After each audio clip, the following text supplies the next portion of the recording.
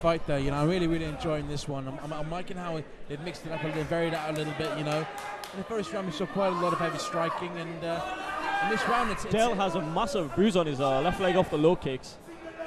He's going for the single leg takedown here.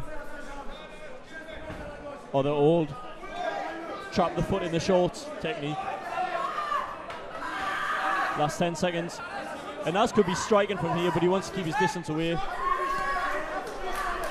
Some hammer fists a few to finish the round with, and there we have it. Excellent fight there. Really, really, really good back executed everything perfectly. Listen to his corner, listen to his teammates. He's got to be happy with that. He's got to be happy with that performance there. That's a, that's a great example of an up and coming mixed martial artist. Yeah, Still very so good. young, so young, and so far to go.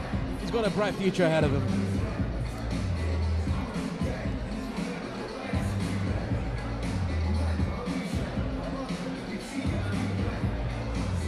Mounir looks a little bit exhausted or uh, overwhelmed at the same time.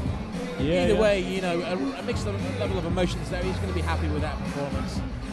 And Buddy Johnson enters the ring for the official decision.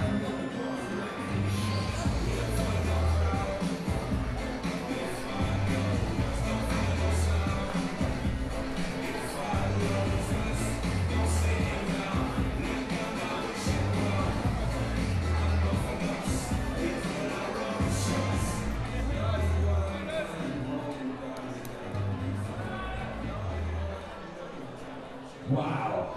Ladies and gentlemen, seriously, massive round of applause on these two fighters. Come on.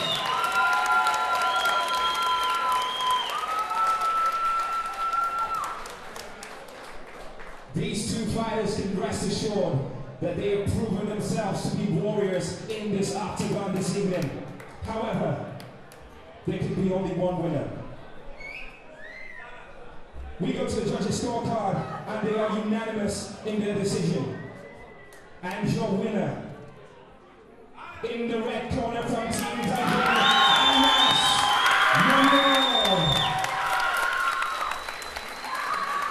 Huge round of applause to Kevin Octopus Taylor.